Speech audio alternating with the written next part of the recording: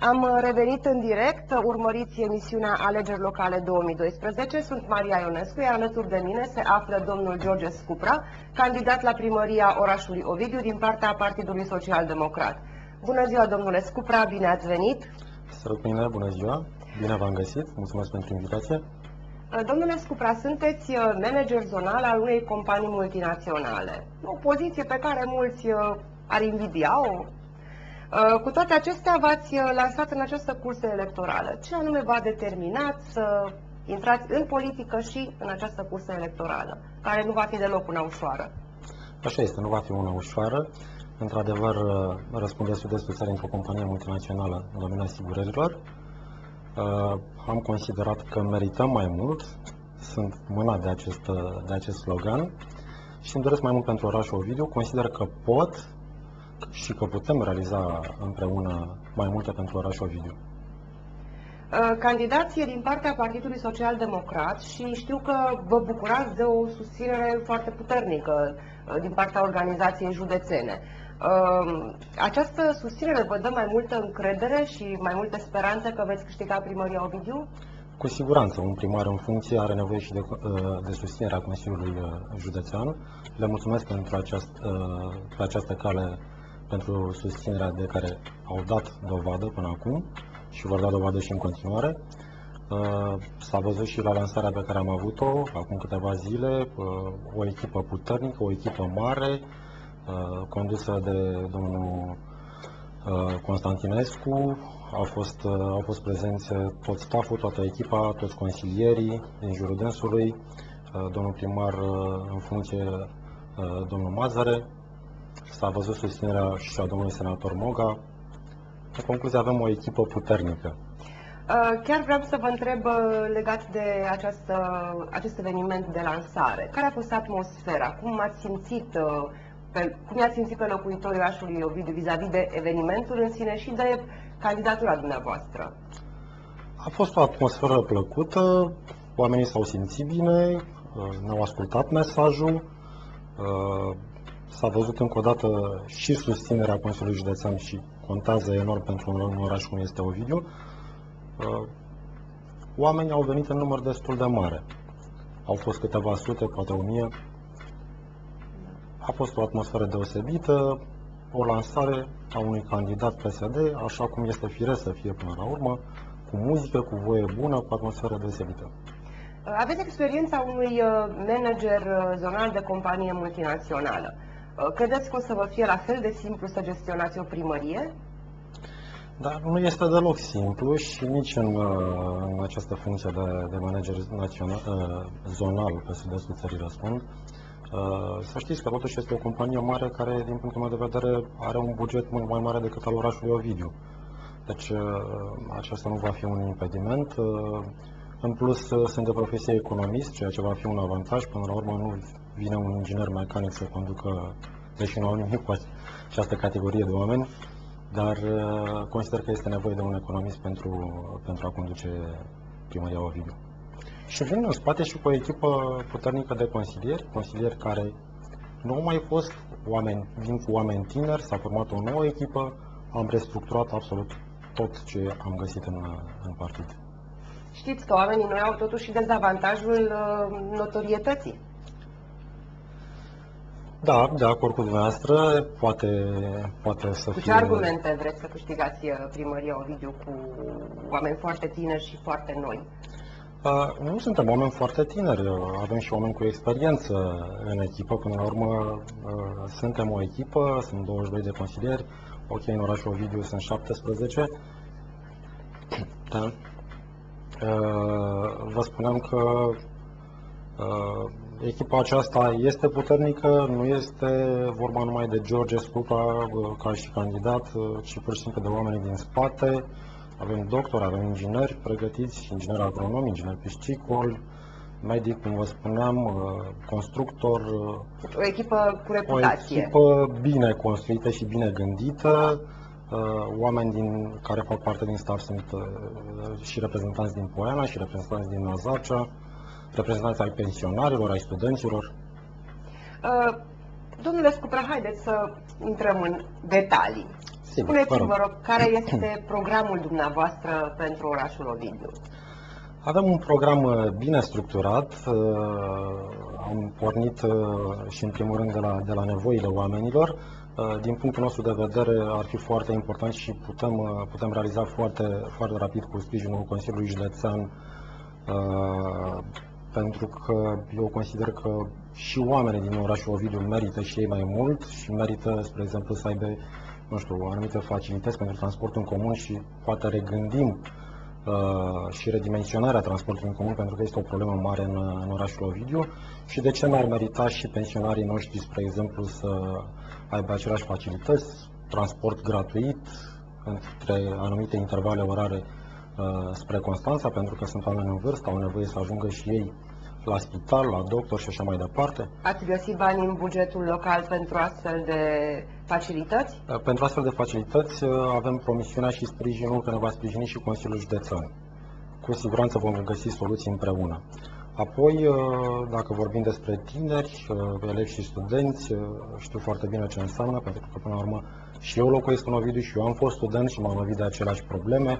Putem găsi soluții pentru a subvenționa să fie o reducere de 50% pentru elevi și studenți. Acesta ar fi uh, primul aspect. Uh, Apoi aș discuta despre implementarea programului, la fel cum este și în Constanța, locuințe ieftine pentru tineri. Pentru că avem mulți tineri și merită și ei aceleași și aceleași facilități. Unde, și chiar, unde ați chiar putea aș să discuta faceți un despre, cartier? despre locuințe sociale, pentru că este un alt program al Consiliului Județean pe care îl putem adapta și pentru Ovidiu. Ovidiu, până la urmă, probabil că peste an și an va fi un cartier al Constanței. Așa că, din punctul meu de vedere, ar trebui să ne aliniem rapid la tot ceea ce este bun în orașul Constanța, tot ceea ce s-a realizat cu această echipă din Constanța, cu domnul primar al Constanței, uh, domnul Mazăre. Avem sprijinul și trebuie deja să gândim în viitor ce putem, uh, ce putem face. Unde, unde doriți să faceți acest uh, cartier uh, pentru tineri? Într-o Orașul, zonă limitrofă? Orașul Ovidiu se poate dezvolta uh, cel mai probabil în, ac- în zona unde este deja Academia Gheorghe Hagi și acolo e un potențial, pentru că pe partea cealaltă suntem, suntem limitați de, Da, da. de lac. Uh, Din păcate, n-aș vrea să intru în discuții foarte ample, dar uh, zona aceasta, partea de lac, fâșia de, uh, din buza lacului, ca să spun așa, deja a fost uh, dată. În concluzie, acolo nu ne putem dezvolta foarte mult. Încercăm să dezvoltăm în schimb turismul acolo și este firesc pentru un oraș uh, uh, cum este, cum este Ovidiu, pentru că un alt, un alt punct al nostru este uh, dezvoltarea turismului în zonă uh, și aici mă refer la potențialul mare pe care îl avem cu lacul. Uh, Din punctul meu de vedere și aici este și programul domnului uh, Mazăre și a Consiliului Județean, uh, lacul clar trebuie deschis spre mare și uh, uh, am uh, văzut noi o soluție în, uh, în construirea unei excluze între lac, care se deschide lacul spre, spre canal și din canal în mare. Pentru că așa vor veni bărci, vom, uh, vom dezvolta acolo uh, toată zona de, a- de agrement pe, pe malul lacului, uh, cu pontoane pentru bărci, Deci aveți de, unde. de ce nu cu Ocherhana? Pentru că este firesc, vin atâția turiști în Mamaia, de ce n-ar veni și în Ovidiu să-l viziteze? Oricum vin până la insula Ovidiu. deocamdată nu prea au motive să vină, pentru că singurul punct în care ar putea să vină probabil ar fi insula Ovidiu, în rest de ce ar veni în Ovidiu. Uh, Noi vă spuneam și încercăm să le creăm așa o rută de ce ar veni în Ovidiu, spre exemplu ar veni pe- să viziteze Academia Gheorghe Hagi, ok, trebuie să-i ajutăm și să le creăm toate facilitățile pentru că și pentru imaginea noastră, pentru Ovidiu, înseamnă foarte mult această academie, da? Se duc cu echipa de fotbal în toată țara și așa mai departe. Deci acolo ar fi un punct. Apoi ar veni cel mai probabil pentru zona de agrement care trebuie dezvoltată pe, pe lac, pentru insula Ovidiu, poate pentru Orchehanai, exact cum vă spuneam. Oamenii vin la mare, vor să mănânce pește. Cam pe aceste aspecte trebuie să, să ne axăm, spun eu. Deci aveți Pentru uh, orașul- destul de pentru multe orașul proiecte și Sigur, proiecte pentru Ovidiu sunt multe, bă, dorim uh, urgent, vă- este printre primele propuneri ale noastre, trebuie urgent să, să găsim soluții pentru a avea o piață agroalimentară în Ovidiu. Un oraș... uh, cu Nu a- aveți la ora nu, asta? la ora aceasta, din păcate, uh, laptele se vinde la colț de stradă. Ori este inadmisibil. Uh, Nu mai spun, că sunt atâția fermieri în zonă care ar, ar avea potențial să, să-și vândă, să închiriem uh, tarabele respective și să-i ajutăm, uh, să ajutăm să se dezvolte uh, și din acest punct de vedere. Apoi, o mare problemă pentru orașul Ovidiu este că nu avem în acest moment o grădiniță cu orar prelungit. Uh, aud foarte mulți colegi, oameni de vârsta mea, 35 de ani, avem copii, nu avem cu cine să lăsăm copii. Uh, și e, am considerat eu că, nu știu, nu, nu mi se pare firesc să ne ducem copiii în Constanța sau chiar mai rău îi trimitem la Lumina. De ce să-i trimitem la Lumina? Ok, mă bucur și am sprijinul și mulțumesc pe această cale și domnului primar din Lumina, dar din punctul meu de vedere ar trebui să avem și noi o grădință cu orar prelungit, la fel cum este în Lumina. Am ajuns să ne uităm la Lumina, noi oraș, dar asta este realitatea. Din păcate, trimitem copiii la Lumina pentru o grădință cu orar prelungit. Sper în curând uh, să, să găsim uh, soluții pentru a implementa și acest program. Apoi aș vrea să mă refer la Uh, programul After School, care în epoca în care trăim chiar avem nevoie de el. Suntem, uh, lucrăm cu toți în Constanța, majoritatea oamenilor din Ovidiu fac, uh, fac naveta în Constanța, chiar nu avem cu cine să lăsăm, să lăsăm acești copii. Ok, eu sunt un caz fericit, am cu cine să nasc copilul, trăiesc părinții, socrii, dar sunt, sunt, sunt oameni chiar care este, reprezintă o mare problemă pentru ei, pentru că trebuie să-ți lași serviciu, practic să, să, să stai cu copilul acasă. Uh, consider la fel că uh, trebuie să fim foarte atenți și să, să găsim soluții uh, pentru, pentru rețeaua de apă și canal. E o mare problemă în Ovidiu, sunt cartiere întregi unde și v-aș da exemplu... Nu aveți canalizare în tot nu orașul? Nu avem canalizare în tot orașul. În anul 2012 da. noi nu avem canalizare în tot orașul. Și aveți un avem, proiect în acest sens? Cu siguranță, cu siguranță lucrăm și vom găsi soluții pentru că nu este bine, din punctul meu de vedere, nu știu de ce nu a fost o strategie coerentă în acest sens, pentru că nu poți să mai întâi să construiești și apoi să vii cu utilități. Avem case, vă dau un exemplu, în cartierul uh, nou din Poiana, spre exemplu, care aparține de Ovidiu, case, au venit oameni din Constanța în speranța și au vândut poate apartamente în speranța că uh, o să aibă o casă și o să stea liniștiți la casă la bătrânețe, ori s-au trezit că și-au construit o casă, dar n-au lumină, n-au canalizare, nu au apă, copii care scriu la lumina lumânării.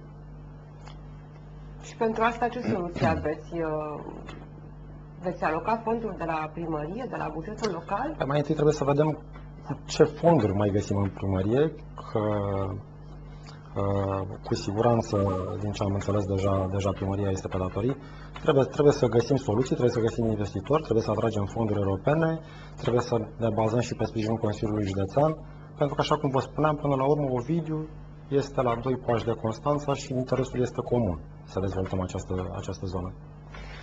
Uh,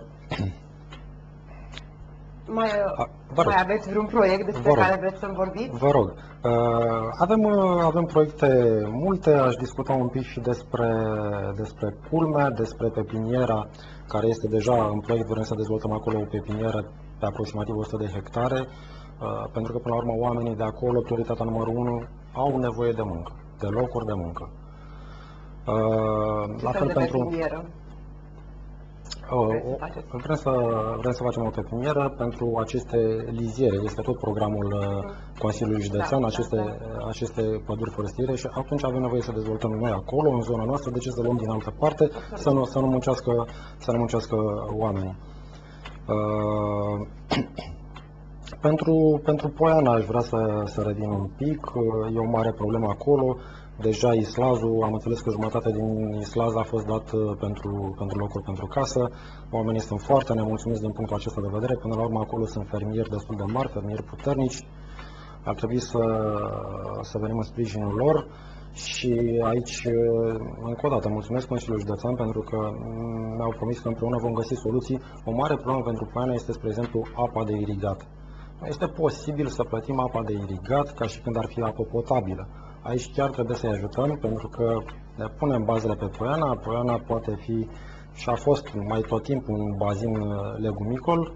Uh, Exact aceasta era și ideea, să, să ajutăm oamenii din Poiana, oamenii din Nazarcea. Vom veni și cu acel, acel program uh, care este deja în derulare și pentru care s-au deblocat deja uh, fondurile de la Consiliul Județean. Uh, Și aici uh, mă refer la SERE, da, programul acesta pentru solarii.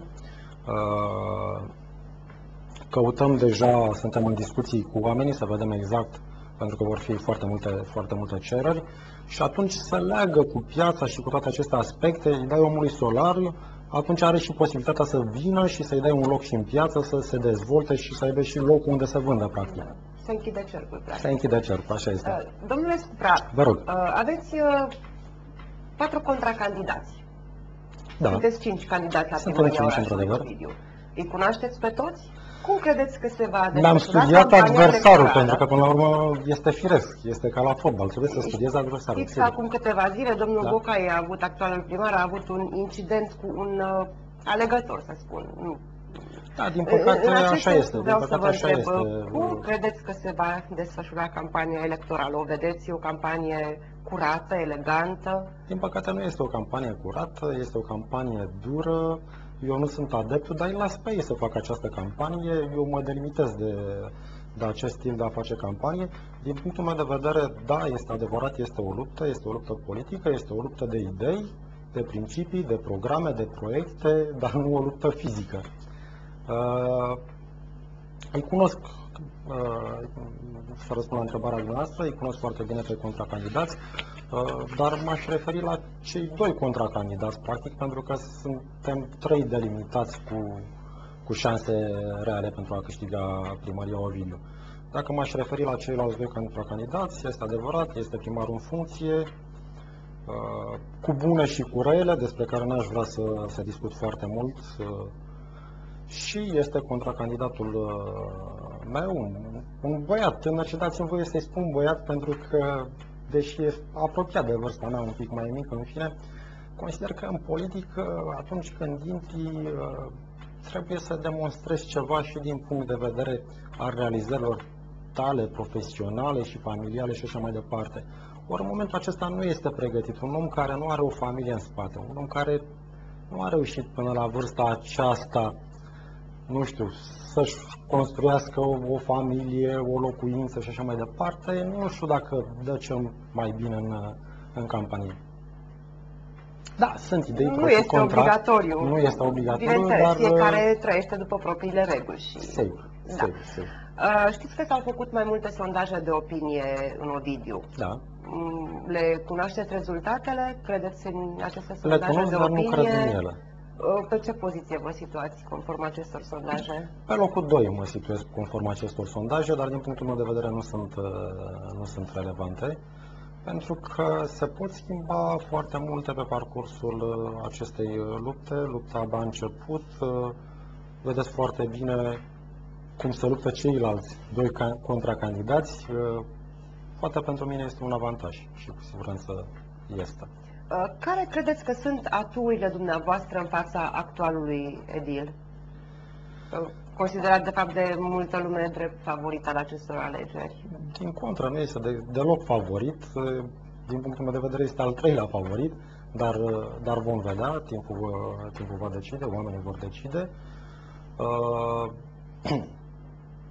Vin, uh, eu le explic oamenilor, din punctul meu de vedere, un primar care a fost în funcție și care a avut uh, în spate o guvernare PDL și care nu a făcut mai nimic pe parcursul mandatului, da? nu o să le spun bune și rele, oamenii le știu foarte bine, da? care nu a reușit să facă mai nimic pe timpul mandatului, sau nu văd ce ar putea să facă în următorii patru ani pe o guvernare USL. Uh, Apoi un primar care un pic speriat a încercat să schimbă culoarea, dar uh, năravul este cam același, știți cum este. Pentru că nu mai mergem pe, o, pe portocaliu, acum mergem mai nou pe verde. Uh, În fine, e o culoare plăcută, nu, chiar nu am nimic împotrivă. Odihnitoare. Odihnitoare, da. Uh, Dar uh, poate să se odihnească și în opoziție, nicio problemă, nu, din punctul meu de vedere. Deci, Care considerați că sunt aturile dumneavoastră? Asta e Acum, întrebarea, de da, fapt. da, am să vă răspund și la întrebare. Uh, Vă spuneam exact. Guvernarea în primul rând. Pentru că uh, o primărie ca Ovidiu și orice primar are nevoie și de susținere. Nu doar ajungem primar, ne trezim acolo în fotoliu și totul este roz. Avem nevoie de susținere, ori pe, uh, pe actualul guvern, da, dacă vorbim de domnul Victor Ponta, uh, prim-ministru din partea PSD-ului, apoi o continuare Consiliul Județean, da, domnul Nicușor Constantinescu, apoi domnul primar Radu Mazăre, care mi-a acordat tot sprijinul, și atunci se închide cercul și la Ovidiu. Aceasta este susținerea, pentru că până la urmă avem nevoie de fonduri, avem nevoie de bani și avem nevoie de uși deschise și porți deschise pentru a discuta. Deci, practic, dumneavoastră spuneți, proiecte am, susținere am, E sunt cel mai persoana important. potrivită. Proiecte, și susținere și pregătire. Da. Și voință. Vă spun sincer, voință sunt un taur și îmi place roșu. De aceea sunt în, uh, în PSD. Domnule Scupra, nu considerați totuși că uh, actualul primar uh, de la Ovidiu este favorizat de legea potrivit căreia primarul se alege din primul tur de scrutin? El poate aduce totuși în fața locuitorilor uh, proiectele care sunt recente. Nu mai este fo- favorizat uh, de nimic în acest moment. Este într-o cădere liberă din punctul meu de vedere. Care credeți că este prioritatea numărul 1 pentru orașul Ovidiu? Sunt multe aspecte de discutat. N-aș uh, spune că există o prioritate numărul 1. Până la urmă sunt cel puțin 5 priorități. Mă refer la asfaltare, dar nu asfaltare de genul cum se face acum așa pe rapid, să asfaltăm direct pe pământ sau pe iarbă. Cum direct pe pământ sau pe iarbă? Se mai practică, uh, chiar zilele trecute a fost un, uh, un reportaj uh, în culmea, se, se asfalta direct pe pământ. Uh, Nu putem face lucrul acesta peste noapte și nici nu se pot face într-o lună cum își dorește actualul primar. Nu trebuie să fii inginer constructor ca să-ți dai seama că nu poți să asfaltezi direct pe pământ, în fine. Uh, orașul Ovidiu, deci faceți parte din locuiți într-un oraș și candidați pentru primăria unui oraș. uh, Locuiesc, am crescut uh, acolo, da, sunt născut, crescut acolo, familia mea este acolo, Vreau să spun că acest oraș poartă numele Pentru, unui pentru că mare e poet. important, îmi cer scuze, e important să fii de acolo Da, de-a locului, nu, nu, să, aparțineți nu să locului, locuiești sigur în că altă da. parte, să fii primar în Ovidiu și să locuiești în altă parte. E o problemă. Da. Aveți un avantaj Da, mă rog. și în același timp cunoașteți toate problemele și cunoașteți pe foarte multă lume. Sigur. Ați crescut sub ochii multor oameni. Uh, Dar ideea mea era următoarea. Locuiți într-un oraș care poartă numele unui mare poet. De altă parte, mai aveți uh, și numele doamnei Elena Roizen, căreia îi se și dedică un festival, uh, Festivalul anual. anual, sigur. Uh, Credeți că Care cele se confundă, două... din păcate, cu o petrecere dată de primărie în fine și al primarului. Da, Credeți că cele două ar putea fi uh, îmbinate pentru a promova mai bine orașul? Cu siguranță pot fi îmbinate, dar eu aici aș mai atinge încă un punct despre, despre care am mai discutat, obligatoriu și Academia Gheorghe Hagi. Pentru că acestea sunt punctele strategice pentru Ovidiu. Deci încă se știe foarte puțin despre această Academie Gheorghe Hagi. Deși echipa este foarte bună, deși au rezultate dar ne foarte reprezintă bune, peste tot. știu că vă reprezintă. Dar foarte puțină lume face legătura între Academia Geor- Gheorghe Hagi și orașul Ovidiu. Cei mai mulți spun că este din Constanța, deci dumneavoastră trebuie, aveți foarte mult de lucru pentru a asocia cele două nume și a promova în felul acesta orașul. Da, da, da, așa este. Deci nu credeți că se, se poate face mai mult totuși pentru a vă promova? Se putea face mai mult, de aceea este în programul nostru și dezvoltarea relației uh, cu Academia Gheorghe Hagi. Uh, De asemenea, Pentru că aveți... sunt interese comune. Da, sigur că da. Și țin minte când s-a făcut Academia, că acolo a fost singurul loc unde s-a putut uh, Da. desfășura pe proiectul respectiv. Până la urmă, de acord cu dumneavoastră, acum este în Ovidiu, dar pe viitor va aparține de Constanța. Da. Uh, cum îi puteți determina pe locuitorii orașului Ovidiu să iasă în număr și mai mare? Știu că este în jur de 60% la vot. Să vină și mai mulți uh, pe data de 10 iunie în fața urnelor. Sperăm să iasă cât mai mulți, pentru că merităm mai mult, pentru că merită mai mulți locuitorii acestor orașe. Dar Acest oraș. uh, nu credeți că va trebui să li se explice cât de important este votul lor și că votul lor practic este vocea lor? Așa este, dacă ne dorim mai mult și putem mai mult, cu siguranță vom ieși la vot. Aveți, uh, vorbeați despre ieșirea la lac uh, în uh, Ovidiu. Uh, S-a folosit foarte puțin uh, administrația locală de această uriașă facilitate. Pe lângă ceea ce spuneați dumneavoastră, că intenționați să aveți o ieșire la mare și uh, cum altfel puteți uh, să vă folosiți de această binecuvântare a naturii? Dorim să dezvoltăm acolo o zonă de agrement, pentru că doar așa putem atrage oamenii să vină în jurul lacului, zonă de agrement, o zonă unde să vină embarcațiuni, o zonă cu ocherhana, spre exemplu, exact ce vă spuneam mai devreme, pentru că oamenii vin la mare, probabil stau o săptămână pe malul mării, după care spun, haide să vedem și ce este în zonă. În zonă unde mergi? La Aveți Ovidiu? un hotel în Ovidiu? Da, avem un hotel în Ovidiu. Și nu vă gândiți că, totuși, dat fiind faptul că aveți Academia Gheorghe Hagi despre care vorbeam și că veți face niște obiective turistice pe malul lacului. Păi cam acesta ar putea să fie parcursul unui turist. O să vină, o să viziteze Academia, uh, o să meargă la Herhana să mănânce un pește, o să meargă pe insulă și o să meargă pe zonele de agrement de pe, de pe malul lacului. După care s-ar putea caza la un hotel După din Ovidiu care, care ar putea să fie mai ieftin decât la Mamaia. Da, este foarte posibil. Deci ați luat Sunte, în calcul și... Suntem, uh, suntem la, la doi pași, până la urmă din Ovidiu până în Mamaia, faci 10 minute. Ați luat în calcul și acest lucru, să discutați cu un investitor? Cu siguranță, pentru... cu siguranță. În, în primul rând ne interesează să-i ajutăm pe acei oameni care stau pe malul lacului Ovidiu și pentru care pentru ei ar fi un potențial, un potențial imens să, să se dezvolte. Da. Domnule Scupra, vă mulțumesc foarte mult pentru prezența în emisiune, vă doresc mult succes. Emisiunea noastră se apropie de sfârșit. Vă mulțumesc pentru atenția cu care ne-ați urmărit. Nu ratați de la ora 16 o nouă ediție alegeri locale 2012, realizată de colega mea Iulia Stanciu. Noi ne revedem mâine la aceeași oră. Vă doresc o zi frumoasă tuturor. La revedere!